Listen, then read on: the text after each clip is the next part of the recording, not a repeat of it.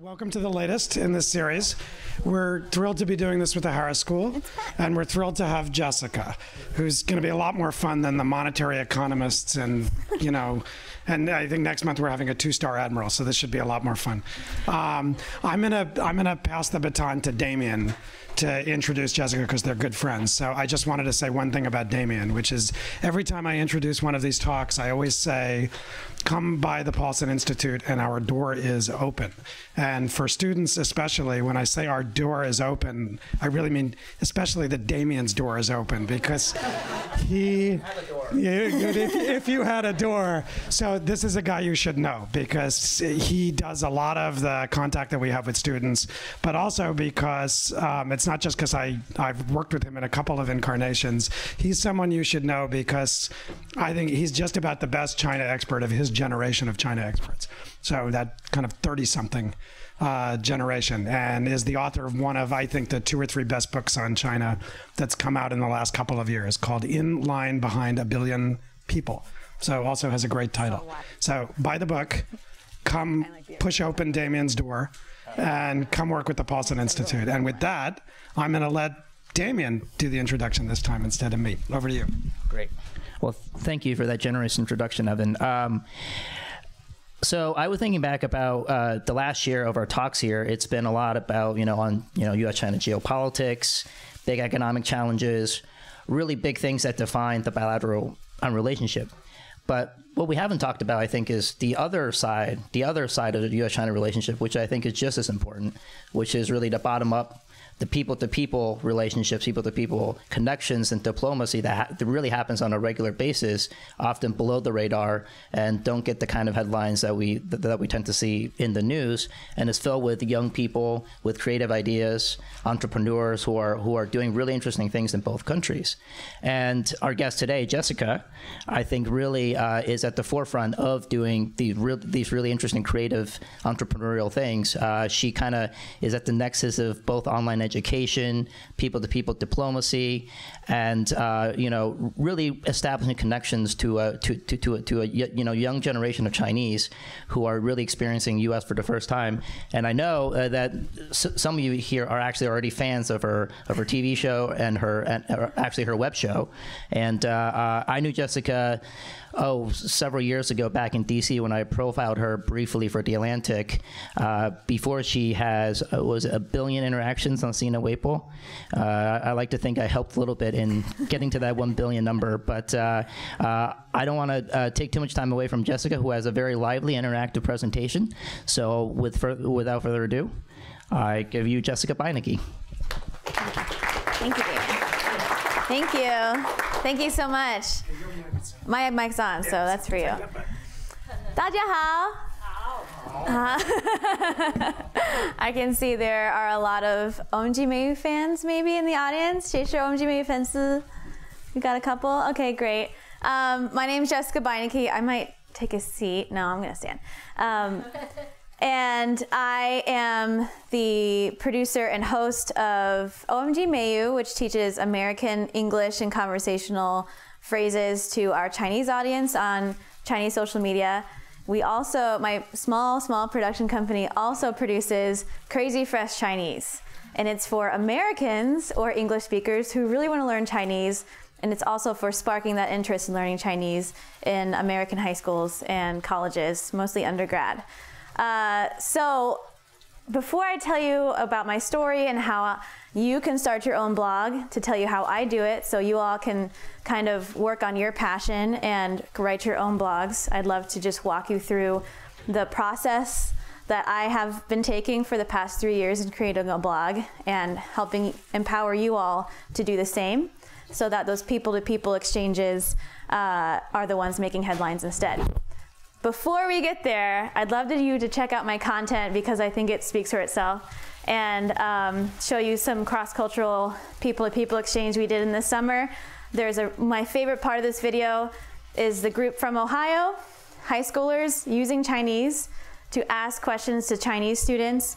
I visited Beijing and Hunan this summer, and I took their questions to the kids in China, and they answered in English. So it was a really wonderful project where we got some fun interactions, people to people exchanges going on there. So if we could check out the video and we'll, we'll keep on talking. Thanks.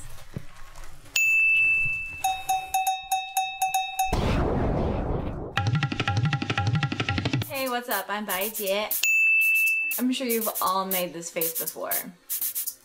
So how do you say duck face in Chinese? 嘟嘟嘴。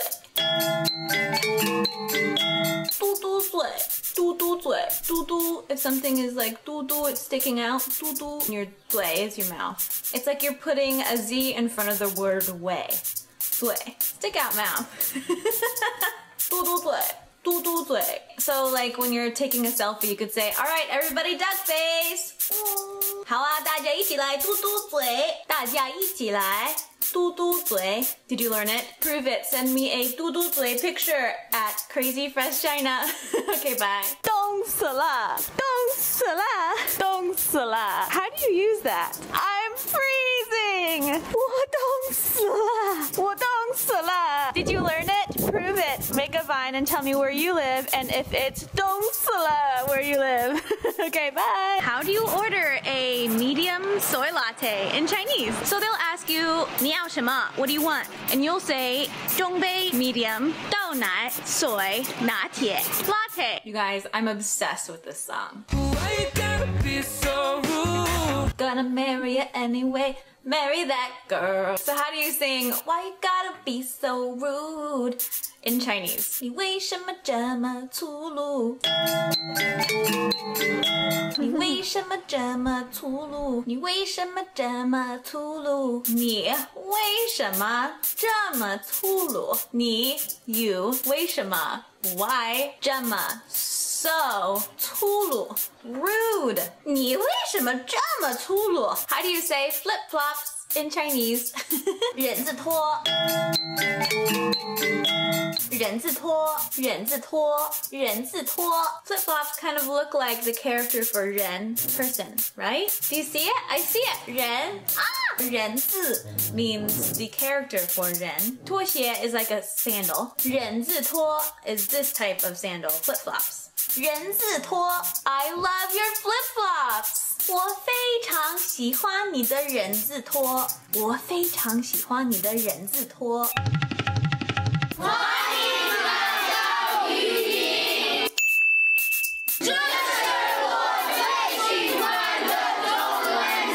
What's your favorite Chinese word? 时尚达人 Fashionista. Hey, what's your favorite Chinese word? Bar. Bar, what does that mean? swag. That's what I got, y'all. Oh, nice. 你好，你好，你最喜欢的中文词是什么？我喜欢呃太牛了， 这是什么意思呃就是呃 awesome。 ？Why is that your favorite word? Uh, I like it because you can call anything a cow and it's still cool. Oh, nice. What's your favorite Chinese word? 独角兽 What does that mean? unicorn Unicorn. 你最喜欢的中文词是什么？没有，没有。What is that? In, what? Which don't have， don't have? Which? Why is that your favorite?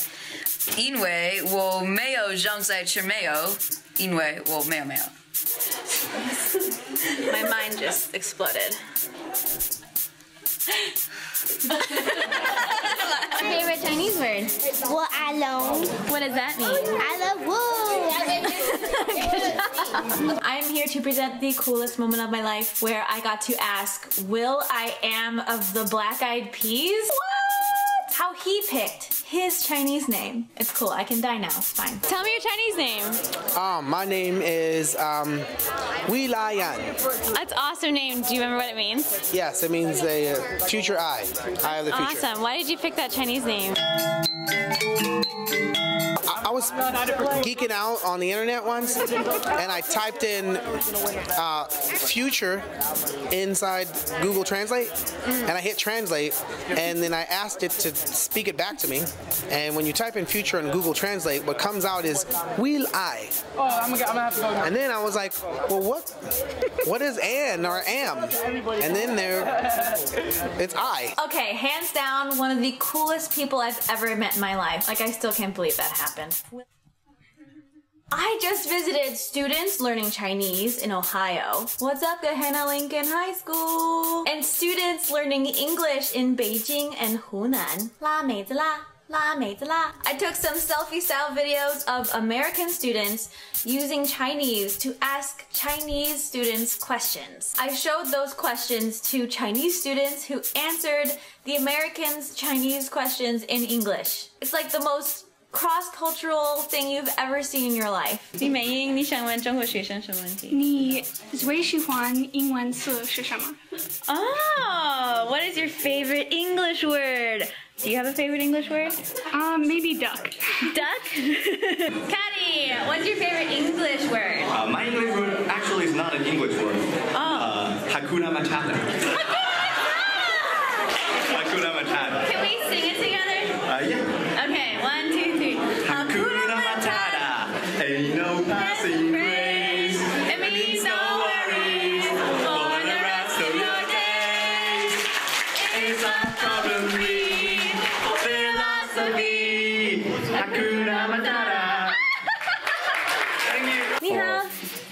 你好，你叫什么名字？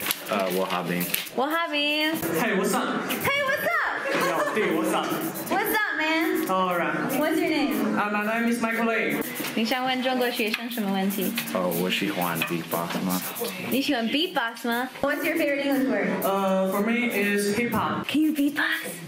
I have to do it. Yeah, you have to do it. Hip hop is still uh, popular in China, and I like rugby and I like beatbox.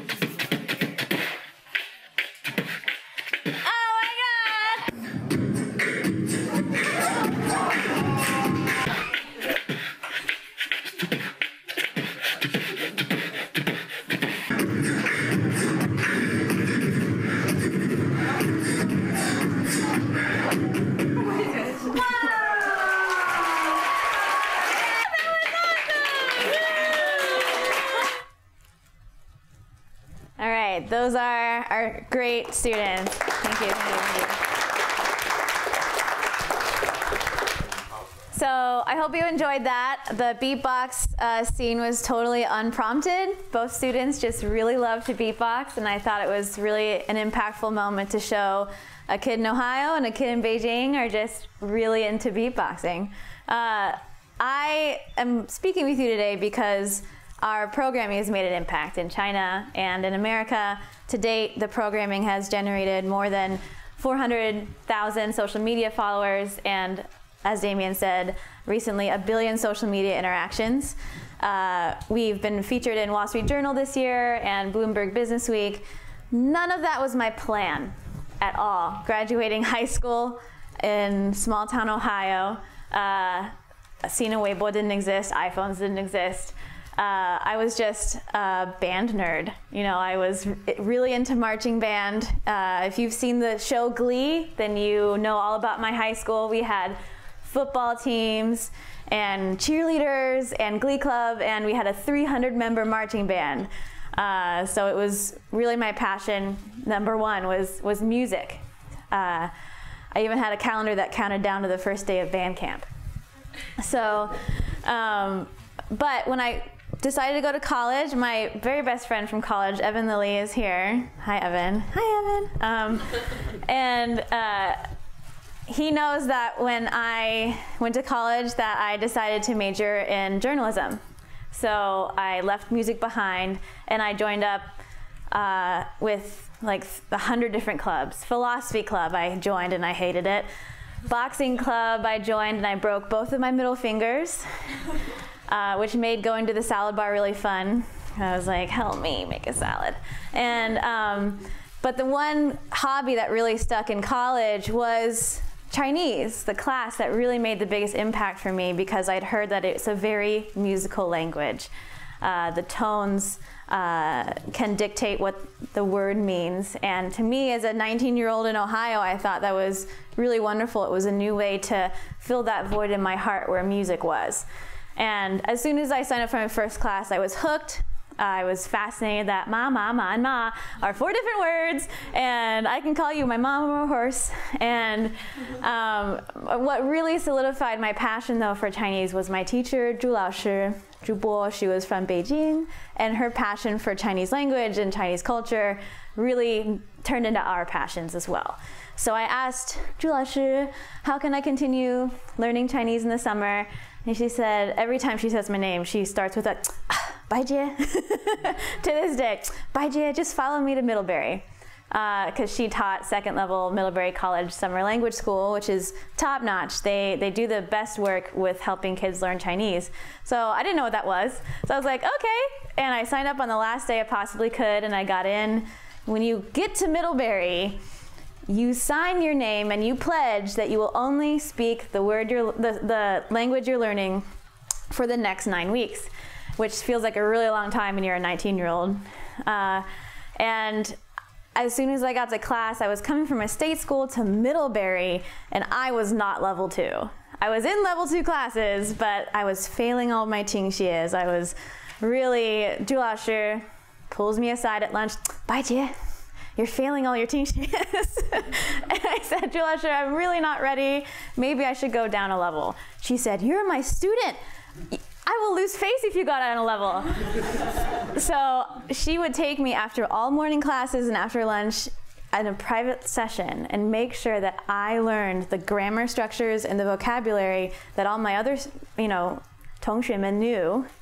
Um, I'm starting to like think in Chinese now, seeing all you guys. And and she got me to a level in Chinese faster than anybody else could have because she put time in to a very passionate yet slightly um, unprepared student. So I owe a lot to her, the work ethic that she taught me, as well as all the Chinese that she taught me. Um, so that was my kind of journey to Chinese. I get that question a lot, and I like to clear that up. Uh, and I really started to connect with Chinese language conversationally when I got to study abroad in Beijing and Hangzhou. I lived with roommates who were my age, so 19, 20 year old um, students in Beijing and Hangzhou. It was the first time I got to see modern China through the eyes of my peers.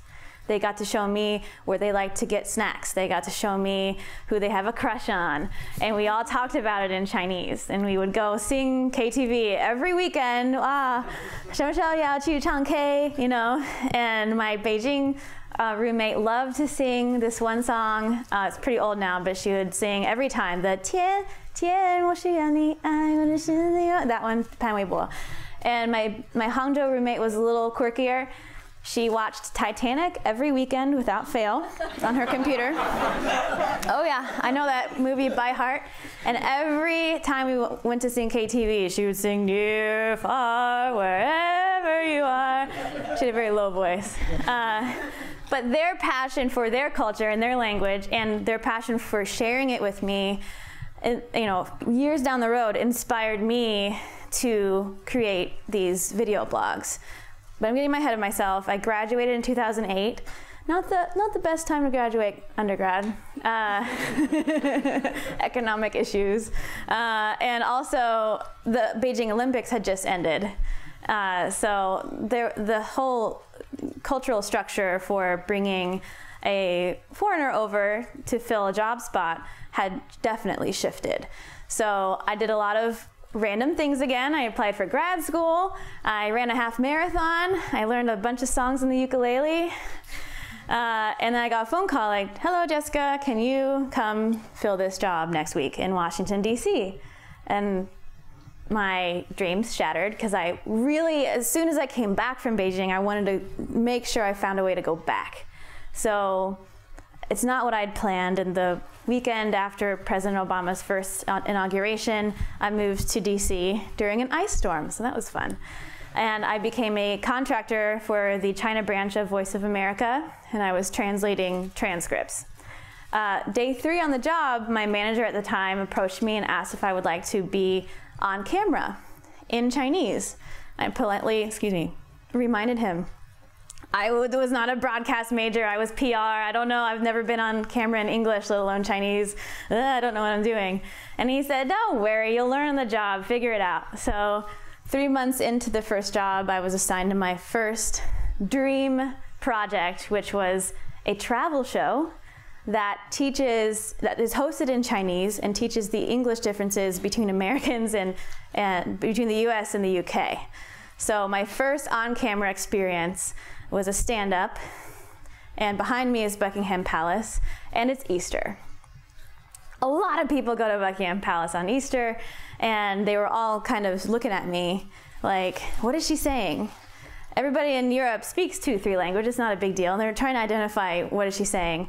They didn't know I was speaking bad Chinese. and I was so nervous to start. It's London, so it's raining. And uh, that was the first time I realized I really needed to um, dig deep, remember what Laoshi taught me about learning the basics, basics, keeping my head down until I know what I'm doing, and just work hard until I achieve that. So we had a very successful program. We did 10 more all around America, teaching about English and showing American culture and things like that. And in 2011, we discovered, you know, the emerging scene Sina Weibo is who's on Weibo.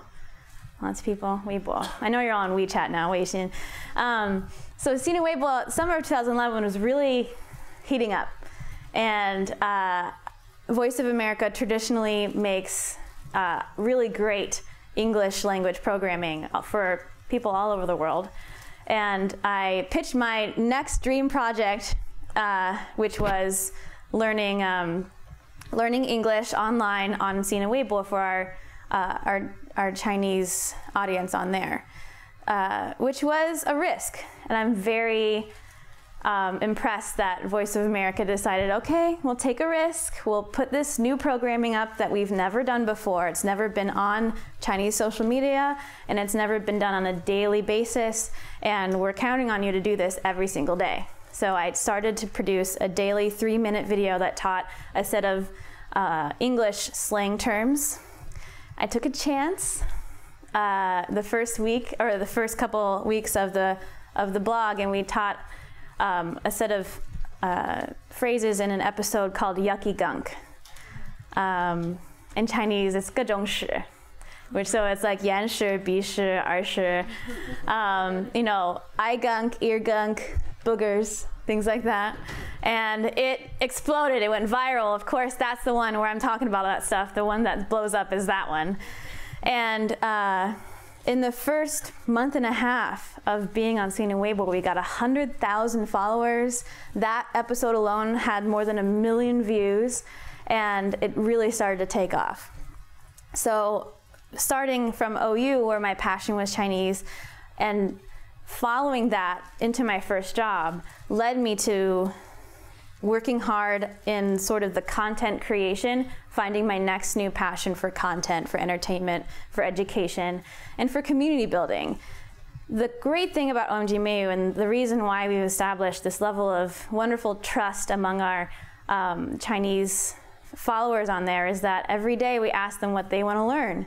We ask them a question. We, we want to know what they think. We, we want to make this a conversation, not just an episode. So there's just been this wonderful community built online as well. So Sina Weibo really helped us uh, do that. In the meantime, I'm creating a little little company. I have to like become a businesswoman, and I have a production company called J and Beinecke Inc. And this January we launched Crazy Fresh Chinese. Uh, having a passion for learning Chinese, I wanted more Americans to have the same passion.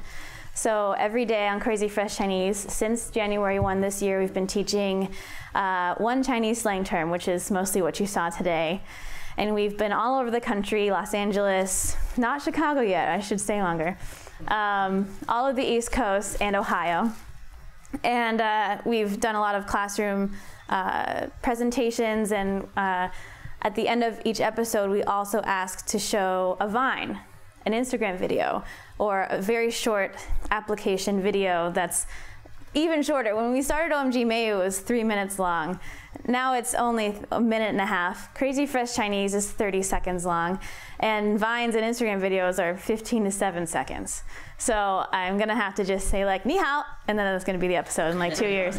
Uh, but um, the journey of figuring out what's the content gonna be, what's the format going to be? How are we going to engage with the community and how are we going to get the message out has been um, an evolving challenge and an opportunity um, to, to really build a fun production company that focuses on, on web content, cross-cultural educational web content. So what I wanted to do with you all today is have you think about what your passion is. If you were doing a blog, doesn't have to be a video blog, uh, but they're fun uh, if you were writing a blog, if you're doing a photo blog, if you were making a Tumblr, an Instagram account, anything like that, what would you talk about? How would you do it? So I wanted to present today. I've never really done this before at a, at a university. I want to show you how I do what I do so that you are able to do the same. And as you're watching this, I want you to think about how you would do it. And if um, anyone who raises their hand and presents what they would do with their blog will win a Crazy Fresh Chinese t shirt. I brought some swag. We got some t shirts and we have some buttons. So um, that'll incentivize it. And I really look forward to keeping in touch with people who really do want to start their own blogs because um, I, you all have wonderful expertise and you're so.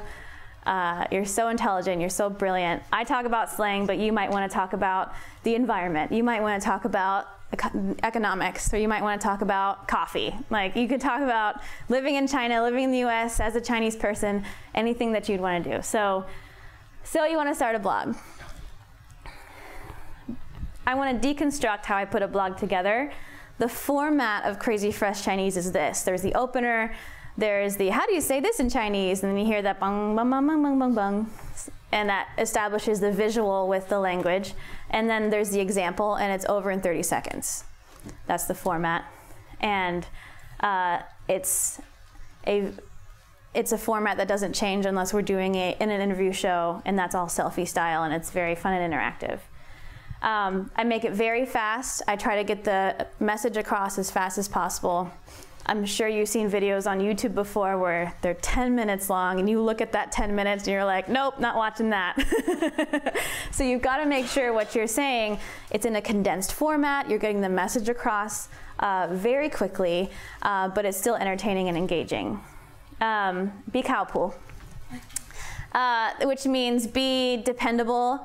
You know, uh, if you post a video blog on Monday at 9 a.m., you better do that every Monday at 9 a.m. because people will start paying attention every Monday at 9 a.m. where they'll think, oh my gosh, Crazy Fresh Chinese which went up, I must have missed it. And they go back and they remember it makes an impression on your followers. So um, that's what I mean by kaopu. And it's not about you. I'm an only child. Do I like attention? Sure.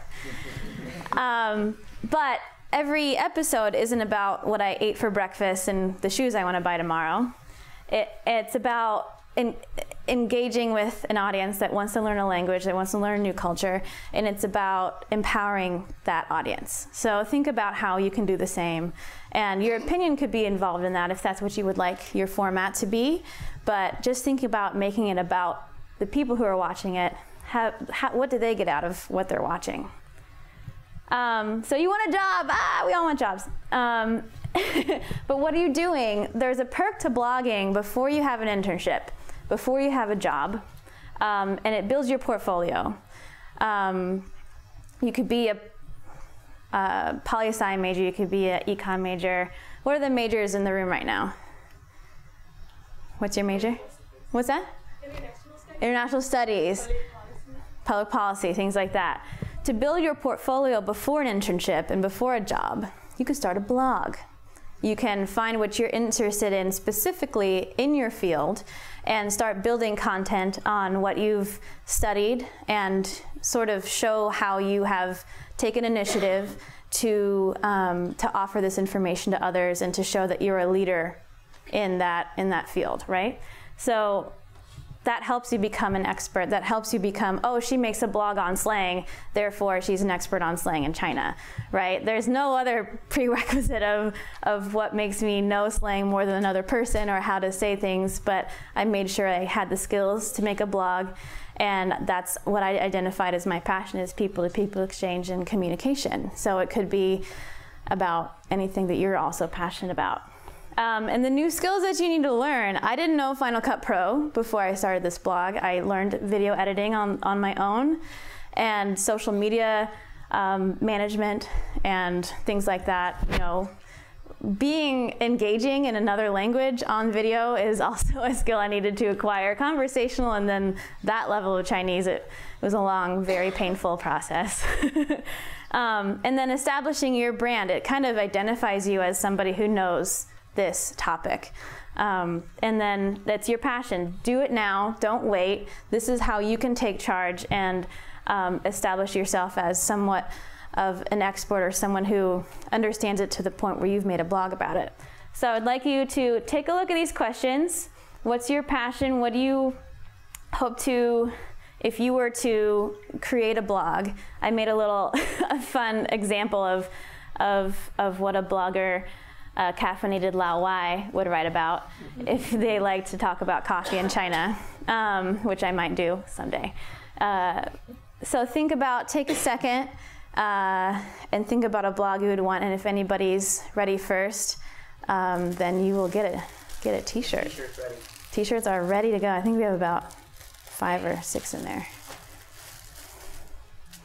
Take your time. I could set a timer.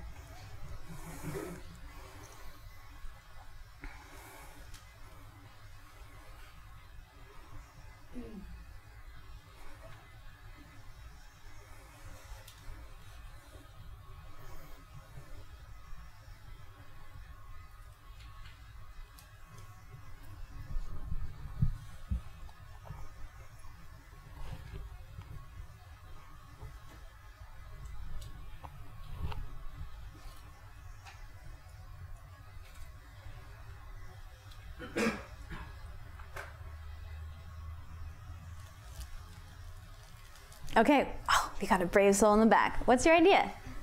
If you could stand up, 站起来. Ha. Um, I guess I could say passion is just learning different languages. Oh, she's got. I guess I could say learn a passion. My passion would be learning different languages. So I could start a blog that would help people choose a language other than their native language to start learning. So it could be it could be text or maybe video. So it could be like Blogspot, Tumblr, or YouTube or something like that. Um, I would have to study like for skills. I'd have to study more languages. like, right now, I It only could help you get that but- done, right? Yeah. To be honest, good. Yeah, so I would learn more, and then going through my process of exploring new languages, I could use that to help other people find a language they want to learn, and it could be weekly, and I would I could engage with people by asking them what languages they want to learn, and I don't know a name though. you don't know a name? Names are important. Yeah. Think about it. Think about it. But very good. Good job. Great blog idea. Any other ideas?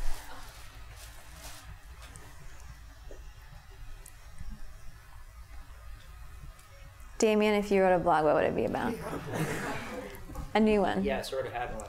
In a book and things like that. Uh-huh. But you have other passions for other things, right? Do I? Uh, um, I actually like the coffee. Uh, actually, um, yeah, I like food a lot, and I think uh, there's a lot of interesting th- things to write about on, on Chinese food versus uh, on American food. I've always thought. Um, I've always thought there was actually a lot of similarities between Mexican food and Chinese food, like real Mexican food and Chinese food. You know, Really? rice. The pork is kind of the same I would totally read that. two cultures that love cilantro more than other cultures. awesome. Uh, and, and and the burrito thing, you know, Like the Chinese get the burrito thing, so right, they totally so get it. you know, or or like uh, you know like a food truck thing. Food Like, trucks, uh, yeah, you know, that's h- how would you how would you start a food truck in Beijing? That kind of stuff. So I would that's what I totally would read do. that blog. Did you have a hand up? But I don't know even. Awesome. Thanks, Damien. You get a T-shirt? You get a T-shirt. Good job, Damien. I want a T-shirt too. okay. okay, so I think my passion is more about like literature since since it's very different literature in English, literature in Chinese, and it's also like and and sometimes it's just very hard. Even you know that language, it's very hard to get that feeling of the same feeling when you read the literature uh, fictions in your own in your own native language. So I think I'm not sure how how I would want to run it, but I think like that's some topic I definitely want to like dig into it. That'd be wonderful. Right. Thank you. can Make it a weekly comparison blog Thank or something you. like that. Good job. Thank you. We've got another idea in the back. You can pass the mic back. Um, my name is Azana, and my passion is like running and exercising. So I said I would like to start a vlog about like, I think running and exercising. Okay. Yeah, um, it would be a video blog because get to see the motion and like I like things slow motion when you show them in slow motion. Um, I'm not really on social media, but if I were to do anything, it would probably be Vine because Vine engages you just in and out. Um, That's a good point.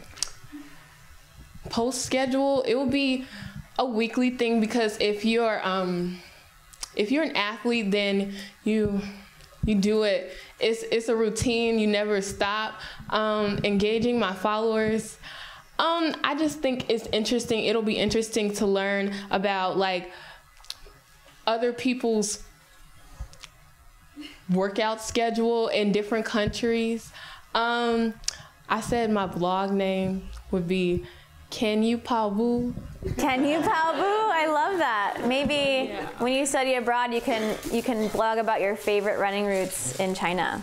I would love to have a blog like that because I never know where to run. Um, anybody else have any fun ideas? We got an idea in the back. Uh, yeah, my name is Jay, and actually I'm running. Gentlemen. Uh, yeah, all right. Uh, my name is Jay, and uh, actually I'm running a social media platform on WeChat. Yeah. Uh, you know that the WeChat public account, I guess. Maybe Mhm. some of the foreigner uh, friends doesn't know that, but uh, actually it's pretty popular in China. And actually my passion is in uh, social enterprise, and I have a, a company uh, called uh, We Do Care. Mhm. And the main idea is using a crowdfunding uh, platform to uh, uh, get some money for uh, the Peking University's students when they initiate some kind of uh, social project, and we just uh, funding them to do their project. So why And did you start the WeChat? What what how is Um, that helping your platform? Uh, actually, I uh, use this uh, donate as you spend uh, idea to uh, build my cro- crowdfunding Mhm. uh, platform, and I used uh, just uh, I post uh, the project, uh, what we do and what we have done every single uh, Tuesday, and we just update the buyers uh, what we are doing and how we are doing, so that uh, it's become mm, more opaque and that they Mhm. know what's going on and where their money going. So yeah, WeChat is Yeah. the number one social media platform that- right that- now, that right? is really good in Everybody's on China, yeah. WeChat, on Wei- on Weixin. Yep, Very so cool. Thank you. That's a that's great what I'm doing idea. right now, yeah. Cool. man. He's already got a blog. Do you have a? We have a we have a blog idea you want? Not exactly. I have a thought and a question for you. Okay. Um, but the thought is um, just that, you know, we all know there's so much cross cultural misunderstanding between China and the United States. And it seems like this, you know, all the students who are here are in a power of position, you know, a position of power where they can help you know people in China understand more clearly what's really going on in the states. And so I wonder what your thoughts are about how welcome blogs about that kind of stuff would be in China, and whether you have advice for for the you know people in the audience about how they might address those issues. You know, you guys all know what's going, what America's really like, for better and worse, and you know, there's a lot of misunderstanding, and so you're in a position where you can actually make some positive contributions. We had a really great uh, idea from a student yesterday with 100,000 Strong. She wanted to make a blog uh, called Help, I'm Living in China. And it's inspired by an experience she had. She got locked out of her host mom's house and she didn't know how to call a locksmith and she didn't even know how to say locksmith. So she wanted to create a blog that helps the day to day life of a um, non Chinese person living in a Chinese city.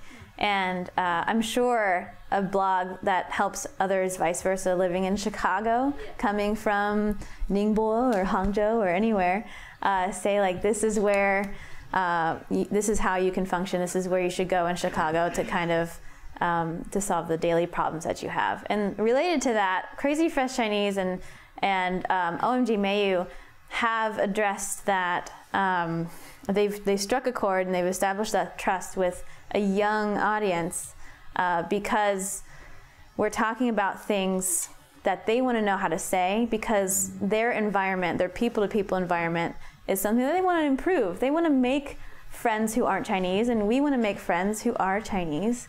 And the way to do that is to be able to communicate. It's essential. And the education of that is is my passion and, and sort of my goal. And you can apply the passion for running, the passion for business, the passion for literature to that goal. You know what I mean? So I think if you do it and you're earnest about it and you're a kaopu, um, and you and you make a a an effort to be interactive and to create a community around that, I, I don't think there's any problem at all. We have a blog or a que- or we can open up to questions too if you'd like. Well, let's open it up and we can talk about anything. So uh, I'm a chemistry major here. Uh, I'm actually doing a PhD now. Uh, I have a lot of passions. So uh, speaking like uh, skiing and uh, running, I do love them. But I think there are a lot of uh, very good blogs already. Like uh, Runner's World is a journal. Uh, also, there's a lot of skiing web websites on the uh, internet. Mhm. So probably I won't do that because uh, there's nothing unique I could provide. Maybe I will do something else that that's unique to me. Like Right. uh, yeah, right. Like uh, I love like uh, photography, but uh, there are very good photography websites and blogger blogs. I may provide something unique. Like uh, in Chicago, I do like uh, daily uh, photography, like what people. Um, do what people wear every day. It's a fashion in Chicago, or yeah, people could see um, uh, what's going on here from China, right? I would like my audience would be uh, facing the, the Chinese audience. It's a good point. And anyone planning to come to, to, to Chicago, like what kind of clothes should I bring, right? Right, Like what yeah. kind of coat do I need? Yeah, You're like gonna need a big one. Mm-hmm. Like uh, yeah, right. Exactly. yeah. And that's I think that's a good point.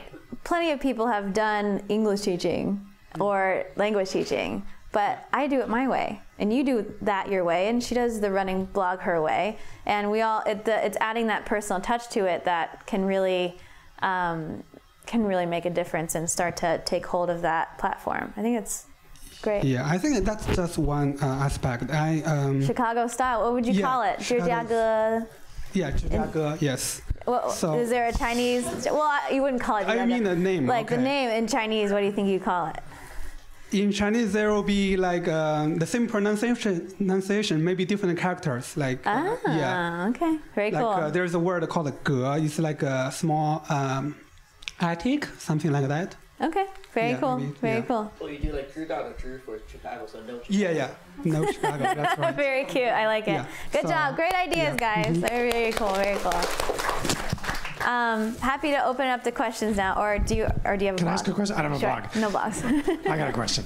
Um, so, uh, the, there's an establishment in China, educational establishment, political establishment, economic establishment, that would love, I am sure, to connect with young people in China the way you connect with young people in China. But you're American. And what's more, so you've got a situation in which you have a generational divide, plus you have this international divide, where I think for a lot of the establishment people that find it hard to connect with youth in China, those are many of the same people who are also quite mistrustful of Americans. Hmm. So I'm wondering first how those sorts of people react to you, if at all. Second, do they see what you're doing as challenging to them in some way? I don't mean in a political sense, because right, you're teaching language. It's it's educational exchange. It's people to people interaction, but it's still very powerful as a tool. And you have a fan base in China that people would be dying to have. So I'm just curious when you get away from your fan base and you get uh, other constituencies in China, how did they react to you? I, uh, that's a great question. I could not speak to how an upper level group in China sees OMG Meiyu. I'm not sure. If, um, maybe they've seen it. Uh, I've not interacted with those individuals. Uh, our side of the pond loves it. We we showed it at the State Department last year, and it was a part of the um, the people to people exchange uh, event with um, with Secretary Kerry and with the female Liu Yandong. Uh, and that was great because they were bringing together the, the theme of that was uh, innovation and education so it kind of fit right there um, in that in that space how they view it, I think, and, and the, the power of the platform that you speak of, I appreciate. The power there, um, again, is I've, I've always made it about the, the follower, and it, and it kind of comes from what they want to talk about. All I post really is the conversation starter. Today you're learning about how to say, well, dongsala, I'm freezing. And then I ask, you know, questions relating to that at the end. You know, uh, where do you live? Is it Dongsala where you live, right? And, or I'll say like, I'll say that in Chinese, and, and the comments will flow in. The the conversation that comes from that is all based on culture. It's based on communication. It's based on interactions. And I think it is effective because um, TV shows like Two Broke Girls and things like that are really popular in China. The characters don't stop and explain, you know, a phrase like "Here's what go ham" means. You know, like that's that they don't do that. But when you're interacting with somebody and you're constantly saying, I'm sorry, I don't understand, I'm sorry, I don't understand, that's also awkward. So this is a, it's an intersection between um, a TV show and a, you know, a E2E conversation. A, man, my Chinese is coming out today. Um, I think it's that really perfect intersection that makes you feel like you're having a conversation, but it's in the privacy of your cell phone or it's on the computer, and that's the feel from it. Um, if that's powerful, I'm, I'm glad because that means we're just helping people learn how to communicate with each other. Everything we talk about is based on what young people care about. It's no and I'm as an American am able to talk about that with hundreds of thousands of young Chinese people because what we care about on a day-to-day basis in our sort of daily life culture is so similar. Uh, if it was really that different, if there was really this opposite view of the world, then I would not be able to connect.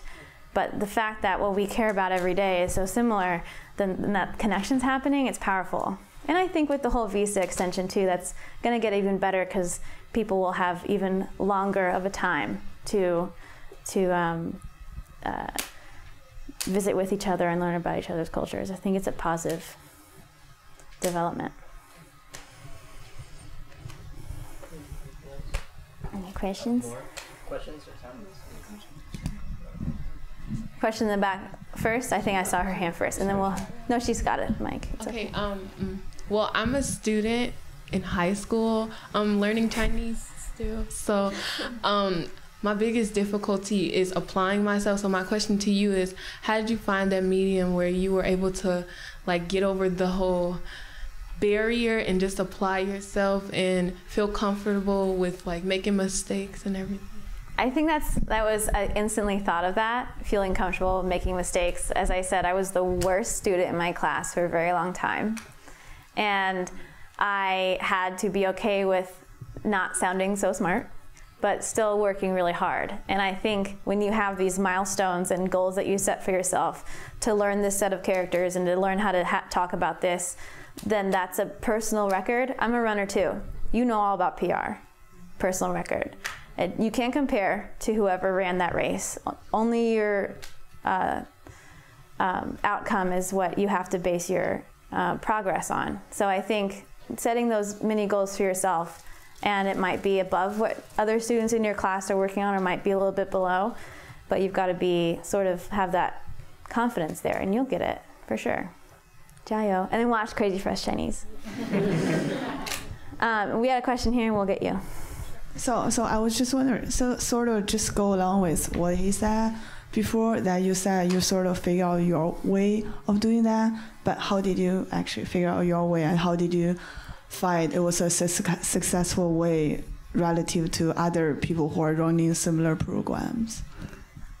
Um, I didn't worry about who's doing something already. I wanted to do something with my personal touch to it. Uh, I also found a void in the market. I really had not seen anything like this before. If I had a Chinese teaching uh, program to watch when I was studying Chinese, it would have been so much more fun.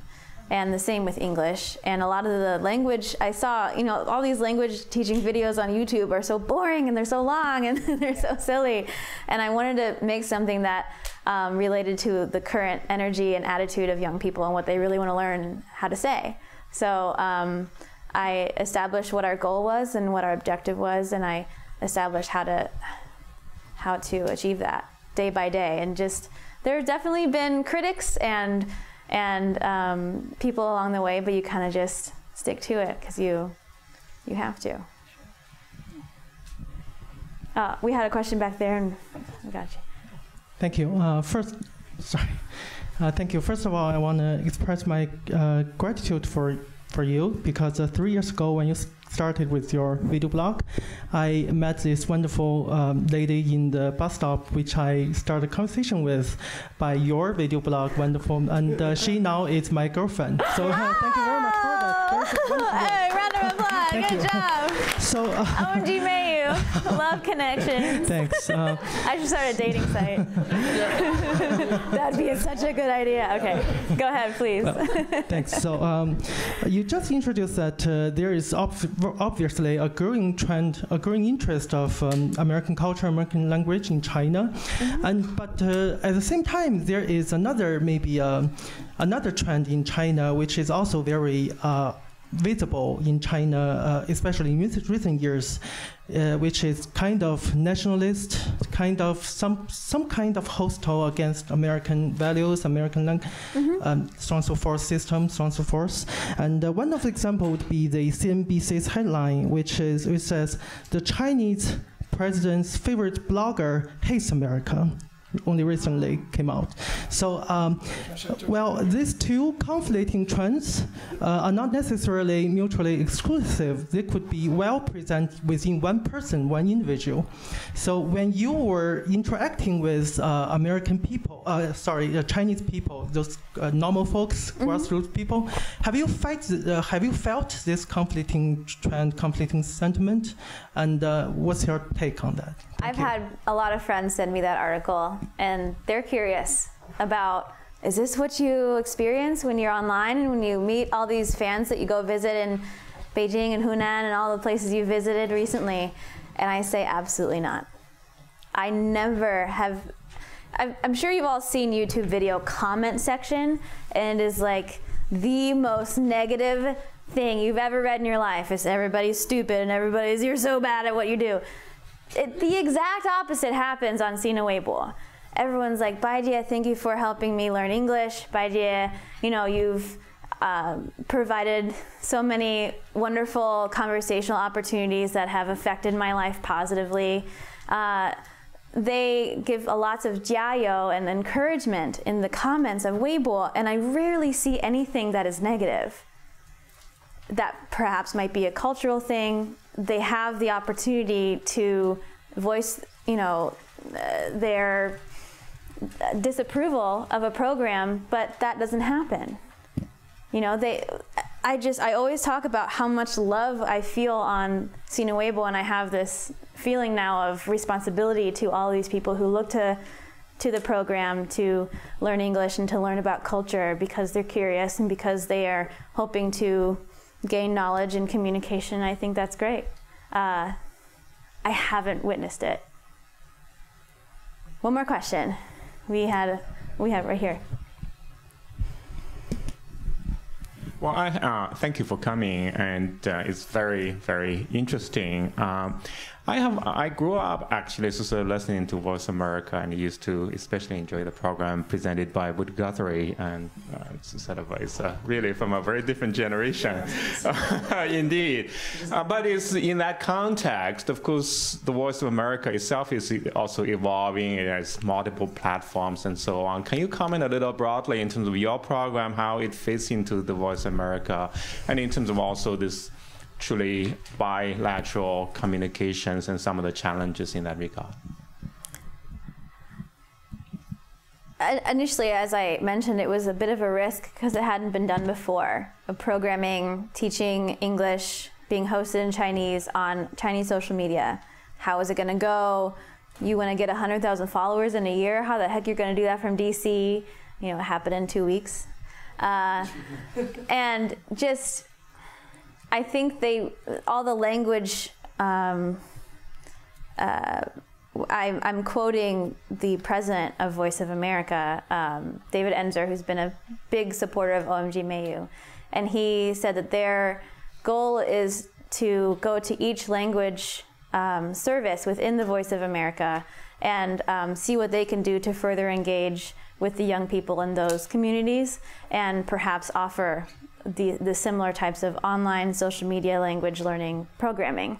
So it's been a positive development because it's opened up opportunities as to how to use social media.